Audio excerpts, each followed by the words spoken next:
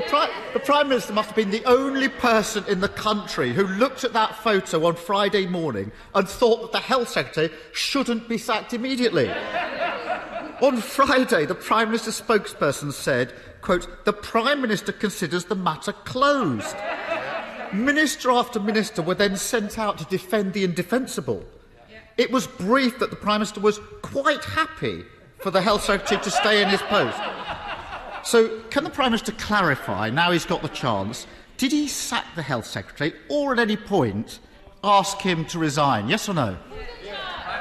Uh, Mr. Speaker, the, the, the, Honourable Gentleman will notice that the, the, Health Secretary has changed uh, in the last five days. He, he, complains about, he complains about the speed uh, with which that happened. Uh, this government moved at positively lightning speed by comparison to the right honourable gentleman opposite, who spent three days trying and failing uh, to, to, sack his deputy leader, uh, Mr. Speaker, who he then who he then promoted, who he then promoted, Mr. Speaker.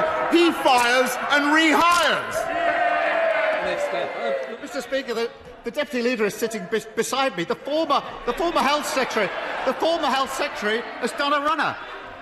Oh, Mr. Speaker, on Friday, the Prime Minister said the case was closed. Then on Monday, he tried to take the credit for the Health Secretary resigning. In a minute, he'll be telling us he scored the winner last night. but let me press the Prime Minister a bit more on this. The person the Health Secretary was in a relationship with was his non executive director. Let me remind the House According to the government's own guidance, one of the roles of a non executive director is to challenge the Secretary of State and the department, to challenge them. And they receive taxpayers' money for doing so.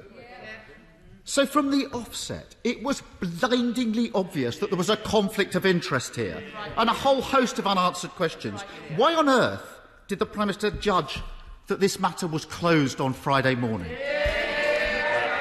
Mr. Speaker, I, I hesitate to, to, accuse the right honourable gentleman of repeating his question. I, observe that the non-executive director in question is also uh, no longer uh, with the department, and what the, what the continuity, Mr. Speaker, is that that department is getting on with the fastest vaccine rollout of any uh, uh of any European country, and I'm, proud, I'm proud to tell uh, this House that uh, this week, what I can tell you what's happened just in the last few days, uh, this country has actually overtaken Israel in the proportion of people we have vaccinated, Mr. Speaker. And I think he might pay tribute to the Health Department for that achievement.